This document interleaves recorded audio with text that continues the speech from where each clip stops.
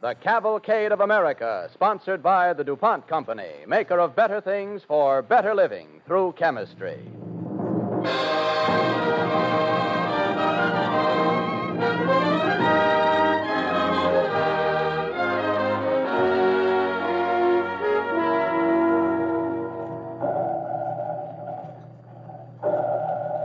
That is the ear of the United States Coast Guard listening for a submarine. Bearing 214. Nothing there. Pick up anything, Casey? Uh, no, sir, not yet. Bearing 215. Nothing there. Bearing 216. Nothing there. Bearing 218. Nothing there. Bearing 220. Contact.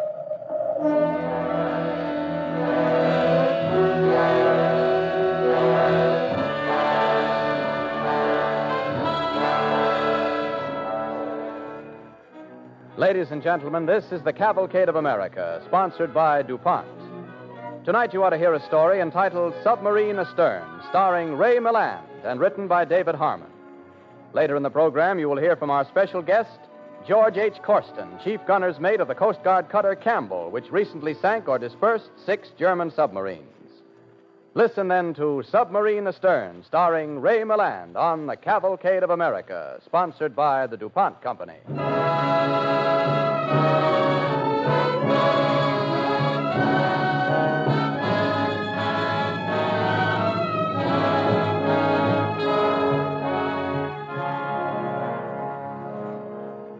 Name is Dan Harper, gunner's mate first class in the submarine chaser Dewey.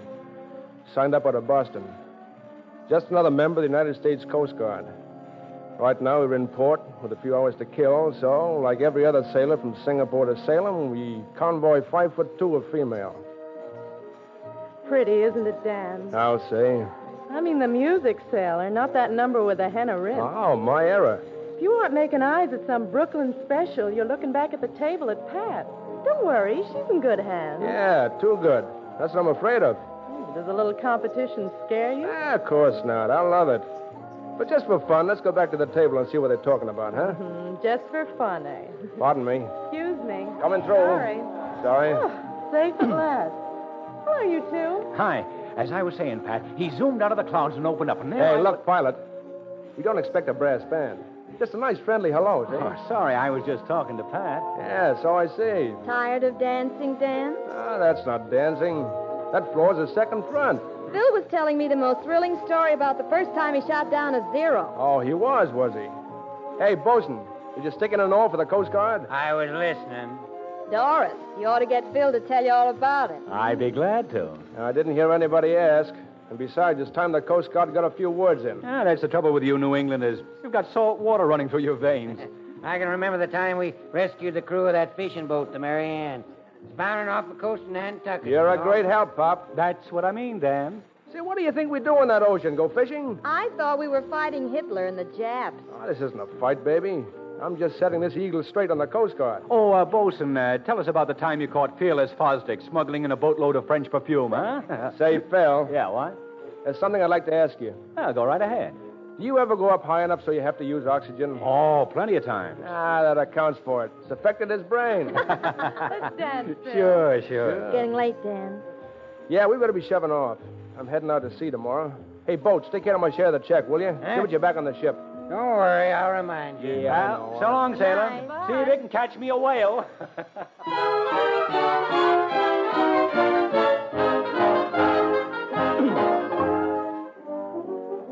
So you walk a couple of blocks, then hop on the Washington Heights Express. Past 72nd, 96th, 103rd, a few other stops before you get to 181st. You walk a few more blocks, up the steps of a brownstone, and. You're here. Yeah. You weren't sore, were you, Danny? About what? About having Phil tell me how he shot down that plane? Oh, it wasn't that. It's just that I'm sick and tired of having everybody think I'm a beachcomber. I don't think so, Dan. I know you don't, baby. Well, it's getting late and I gotta get up early. So you're careful out of that plant, aren't you? Why, sure I am. You know, that riveting is pretty dangerous work. You gotta watch yourself. I worry about you, too, Dan. Uh-huh. Your mother home? Oh, she's sleeping by now. You know, these blackouts have some good points, too. They sure do. How long you going to be gone? I don't know. Can you tell? Look, I better be shoving off. Dan, once more before you go.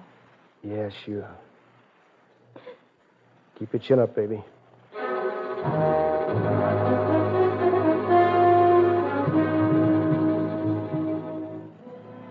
So you say good night, then that long trip back to Staten Island. You walk a few blocks, hunt for nickel in your pocket, and then run for the subway.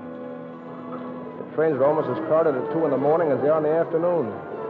You rumble beneath the streets of New York and read the ads. You watch a guy who's had one too many. Take a look at the different uniforms from the different countries.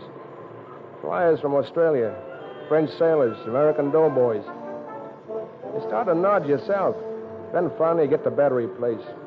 Hop out of the subway, run across the street, then run to catch the ferry. You start to feel a little freer when you get on that Staten Island ferry. Not it's much of a boat, but it goes on the water, and that's good enough for you. You watch the dimmed out skyline of New York fade away, and, and then in the distance you see the lady with a lamp. Not many civvies on the boat at that time, mostly sailors. Finally, you bump against the dock. You hop off, start walking back to the ship. You spot a couple of other guys from the Dewey, and you catch up to them just before they get to the gangplank. Dames, blonde. In a sarong. Ah, who cares what they're wearing? Hiya, Danny. Hiya. Now, as I was saying, blondes over redheads anytime. I'll stick to redheads. Ah, Les, sometimes I think. Well, let's leave it up to Danny. Leave it up to him. Not after what he was dragging down in Baltimore. Well, so what if she wasn't pretty? She went to college, she had brains. and besides. Hey, who's doing that? Who's whistling? Me, why? How long you been in the Coast Guard? Five months? Hasn't anyone ever told you never to whistle aboard ship? What are you trying to do, jinxes? Don't you know that whistling is just like asking for a storm? Well, I don't know about the rest of you sailors, but I'm going to hit the sack.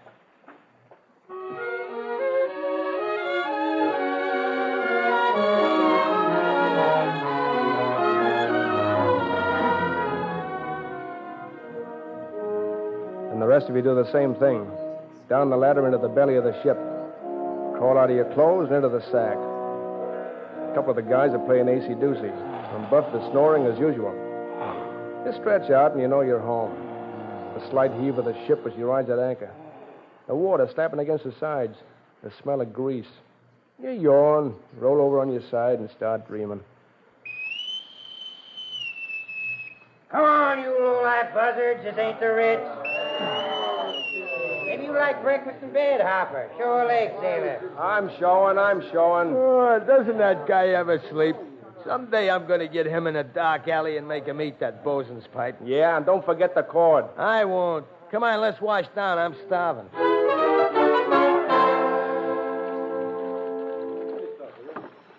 Hey, who's got my toothpaste? Not me. Then it must be just a coincidence that it's in your left hand. Well, imagine that. Hey, cut it out. What are you splashing water? What are you, a freshwater sailor? See you, chow. All right, I'll be right with you.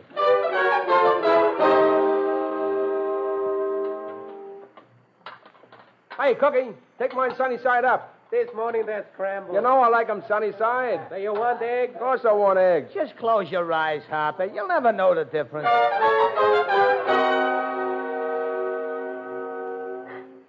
Where are we headed, Captain? Just a routine cruise to Calm 3. It's plenty hot down there. Wolf pack of German subs has been reported working thereabouts. If we're lucky, we'll find it. We're shoving off at 0800. Have the bosun pipe muster. Yes, sir. Bosun, pipe muster. Yes, sir. All hands fall in and muster.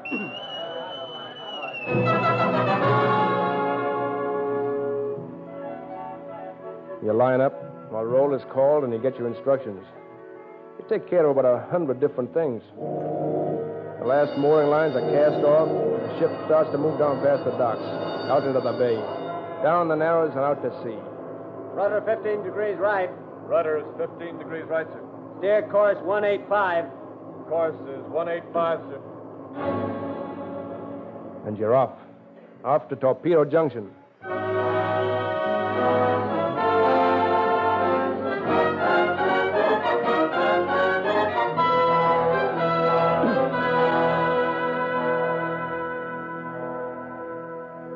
Now all the sounds and the smells of the sub chase are around you. Around you and about 54 other guys. Men on the bridge of the ship, the brain, helmsman, captain, radio, young ensign from Buffalo. Standing up there guarding the ship and all the time listening to the incessant ping, ping of the sound detector. Listening for that ping to come in pairs. Listening for a contact. Captain, What is it, Mr. Becker? What are our chances if we do spot a sub? Excellent if we spot her first, and the depth charge will sink her. But if she surfaces, we'll have a fight on our hands. We'll give a good account of ourselves, sir. I don't doubt that. But remember that a sub's a good deal larger than we are. It won't take many shells to sink a 165 footer. In fact, one well placed torpedo will do it.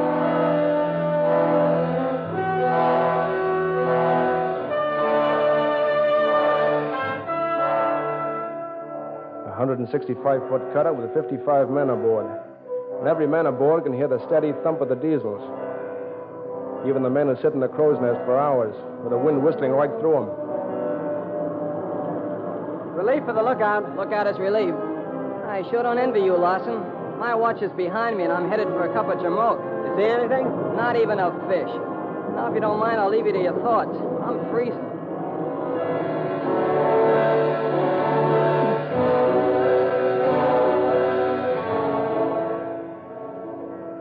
Down in the recreation room, a recreation room when it isn't a mess room, that's where you go to stretch out and shoot the breeze when the other guys are knocking themselves out. Hey, Hedeman, What now? how do you spell retaliate? Retaliate? Why? I'm writing to my girl. Uh, R, uh, uh, uh, how do you want to use the word? Well, I'm just saying, like, Dear Dolly, I have received your letter, and now I retaliate.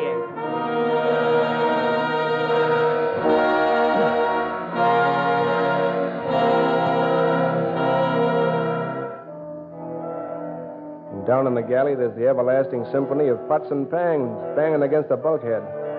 There's the thump of the engines and the steady ping of the sound detector on the bridge. But if you happen to be on a gun crew, you get plenty of fresh air while you're giving that three incher a beauty treatment.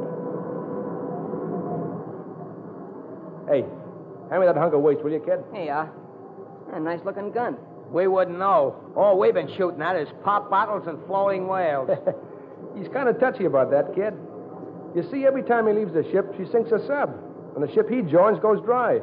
It's sort of a game in the Coast Guard. You know, button, button, who gets stuck with Skip? ah, listen, Sergeant York, I never heard about you bringing in any Germans. well, that's only because I've. Say, what are you wearing? A sweater. My girl made it for me. Looks more like a bathrobe. The, the ocean is starting to turn green and black. The ocean isn't the only thing that's turning green. I'm all right. Looks like we're in for a blow. Look at those clouds. You know, Skip, I remember once when we were in a storm for ten days. Is that so? Yeah, and all we had to eat was some cold lamb gravy. It's getting worse, isn't it? Oh, this is practically calm. Why, I can remember when Tell him all about it. He'll enjoy it. I got a wheel watch coming up. See you, chow. I'll be there. So do I.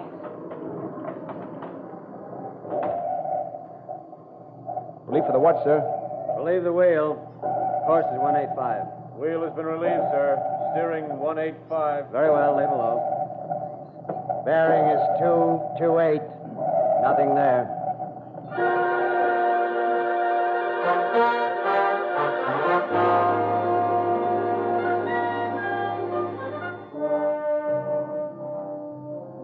You go along and you drill. And if there's one thing you do want, it's a target. You'll settle for just one submarine. Lately, you've just been drilling, but you can never can tell when you're liable to find one down Periscope Alley. So you practice, loading and firing, loading and firing. With all your griping, you keep the sound of the detector running through your mind. The ping, ping, ping. And after a while, you think you hear them in pairs, and you jerk up your head, look out to sea. Because maybe. Yeah, but there's nothing but sea and sky.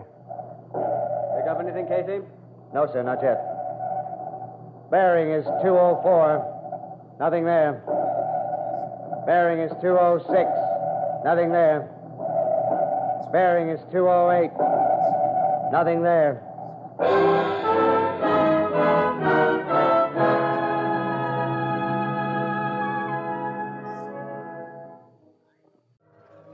You are listening to Ray Milland in Submarine Astern on the Cavalcade of America, sponsored by DuPont. Moment ago, we heard the shrill whine of the sound detector, the single whine that means the Dewey is still searching for a submarine. Bearing is 210. Nothing there. It's the waiting that gets you. Three days out in that ocean, and you haven't even picked up a sleeping whale. Nothing but drills and eating and sleeping and, and waiting. Always waiting for that whine to come in pairs. Your nerves get on edge, and you snap at the guy next to you. You gripe about everything, and you wait, wait, wait. Steady on course. Steady on course, sir. Bearing 216. Nothing there. Bearing 218. Nothing there. Bearing 220. Contact. What does it bear? Contact bearing 220. Range is 200, sir. Right full rudder. Steer course 210. Target changing, bearing rapidly to the right, sir. He's wise to us. Right full rudder, sir. Steer course 220, sir. Yes, sir. Course is 220. This looks like it. Ah, that might be just a whale or some fish. Yeah, you're a great help. Hey, I wonder where it is. Change your mind? Yeah, we're doing too much dodging and weaving to be playing tag with a whale. I wonder where he's hiding. Why don't you go up and ask the old man? He'll be only too glad to point it out to you. Oh, I was only wondering. You know what's going to happen if one of those tin fish... There it is, Skip. Torpedo, two points to port. Torpedo! Look at that thing come. If anybody wants to pray, now is the time to do it. Boy, it's getting awful near. Too near. Why doesn't the skipper get us out of this?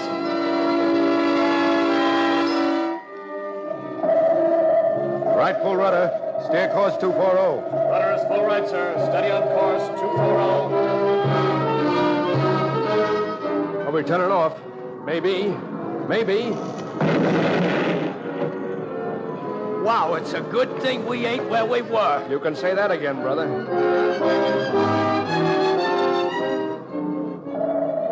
Set all depth charges 100 feet. Set all depth charges 100 feet. All depth charges are set, sir. That Heining won't miss on the next one. Bearing 224. Range is 165. Steer course 224. Steady on course 224, sir. We'll keep bearing right down on him. Our only chance is to throw those ash cans before he has a chance to send another torpedo. Bearing is 230. Range is 150. Target bearing changing rapidly to the right, sir. Steer course 240. Steady on course 240, sir. You think they'll let go with another one? They will if they get a chance. Now stop talking about it and look. I'm looking, I'm looking, but a guy can wonder, can he? Maybe you'd like me to swim over and ask him. Keep looking. Bearing is 230. Range is 90. Steady on course. Steady on course it is, sir. Stand by to drop pattern number four. Standing by to drop pattern number four, sir. Range is 65. Ah, but that water is cold. You sure picked a swell time to talk about swimming. Why don't we drop those charges already? Look, Mac, will you stop bothering me with questions? I got things on my mind. Range is 400. Bearing is 290. Right 15 degrees rudder. Steer course 290. Rudder is 15 degrees right, sir. Steady on course 290. Range is 4. Lost contact, sir. Well, find it, find it. Yes, sir. Got it back, sir. Range is 450. Bearing is 242. Stand by to drop charges. Standing by to drop charges, sir. Stand by to drop charges. Does that answer your question? Why, I'm still sweating. Yeah, you got good reason to.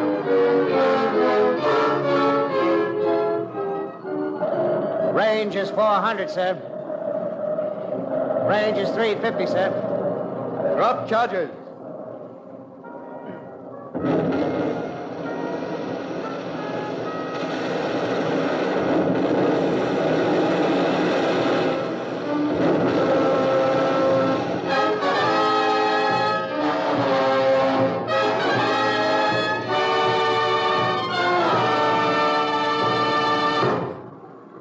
Chances, Danny? Well, pretty good if the depth charges find it. Not so hot if she services, and we have to fight it out with deck guns. I never knew these boats were so small. They can hold their own. Boy, the way that water shoots up, it looks like a picture I saw once of a thing called Old Faithful. Never mind that scenery, Rembrandt. Look for oil and wreckage. Well, the way this ship is weaving around it. There she is. Well, this is where I find out why we practice. You ain't kidding. All guns target. Two points on port quarter. Range is 550, scale 496. Commence firing. Well, you heard him. Come on, let's go. Ready one. Fire! Ready two. Fire!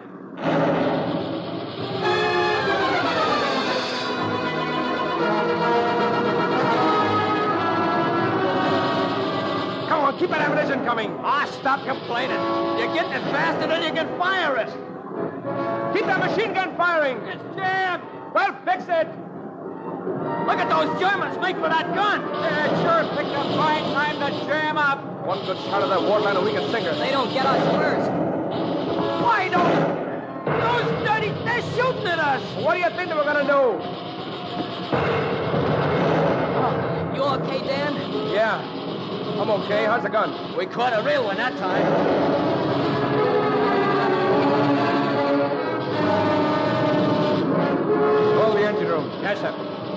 Engine room. Report on damage. Engine room.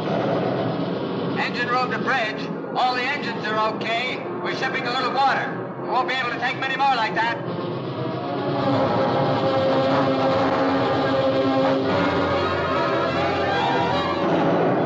That was a lucky hit. Well, what are we waiting for? Another one? Now I see what they mean by a moving target. Just worry about hitting that water line.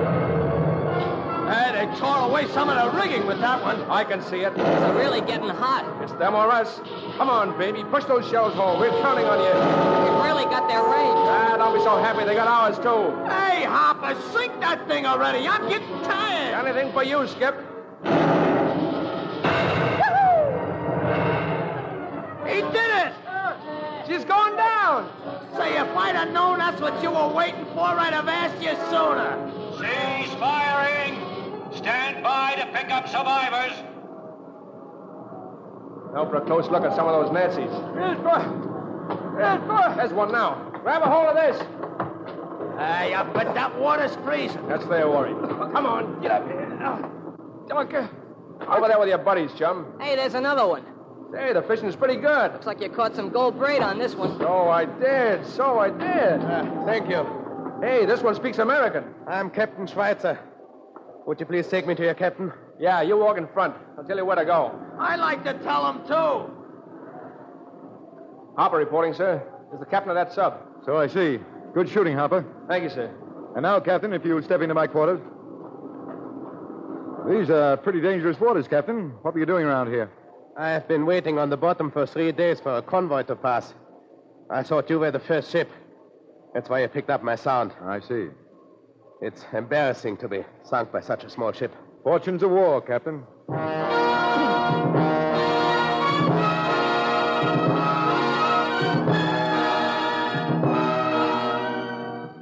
Well, that's the way it happened. And next time I get a shore leave, I'm going to catch up with that aviator. I'm going to tell him the Coast Guard motto Semper Paratus, always ready.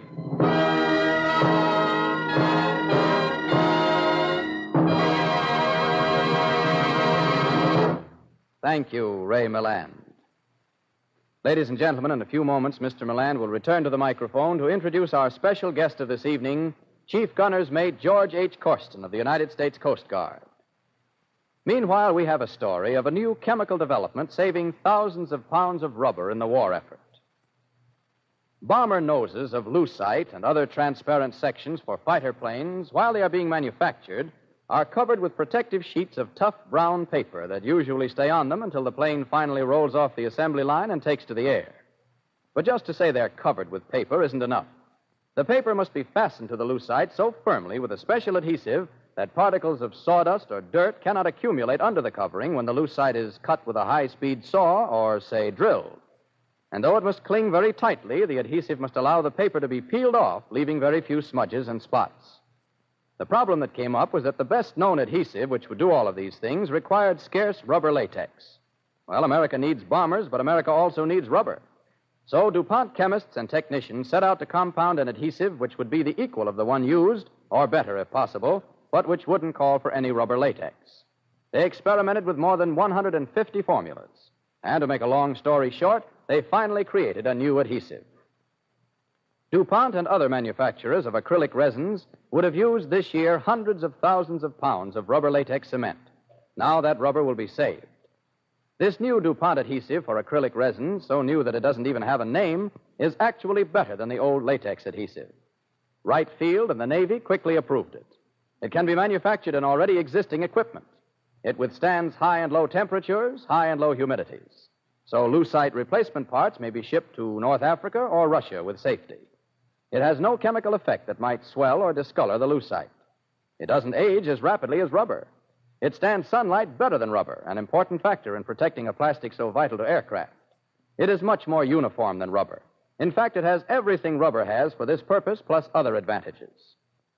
The new adhesive, replacing a more critical material, was developed by DuPont at the request of the Army, the Navy, and the War Production Board.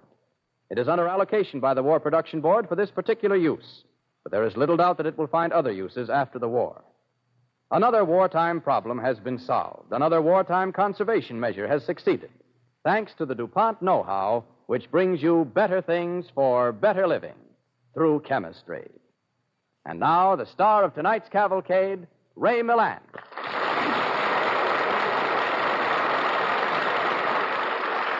Thank you, ladies and gentlemen. Our fictional story tonight partially parallels a true story that was in the news a few weeks ago about the Coast Guard cutter Campbell. We are fortunate tonight to, to add realism to the broadcast by having with us George H. Costin, chief gunner's mate of the Campbell.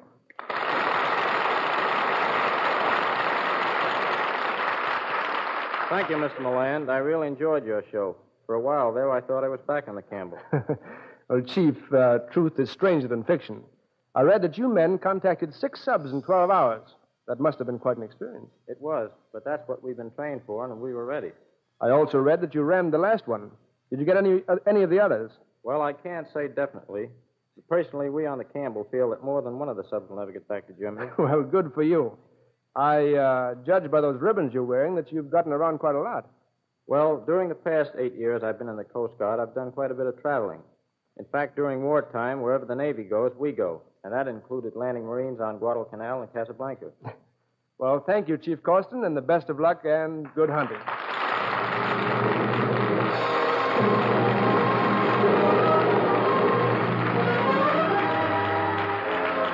Be with us again next Monday when Cavalcade presents, a week from tomorrow, April 13th, and throughout the United States and in every country in the world where the democratic way of life prevails, the birthday of Thomas Jefferson will be celebrated. In special observance of the occasion, Cavalcade will present a new radio play, The Lengthening Shadow, in tribute to Jefferson. Our star will be Fredric March.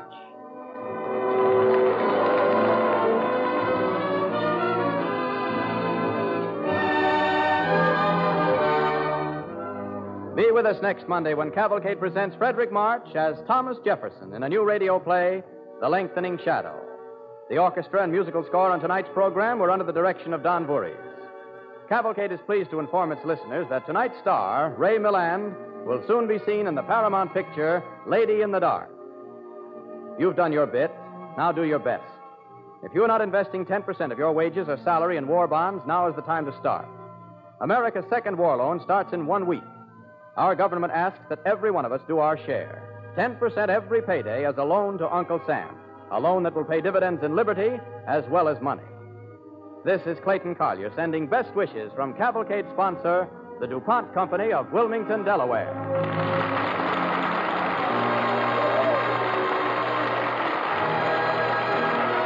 This program came to you from New York. This is the National Broadcasting Company.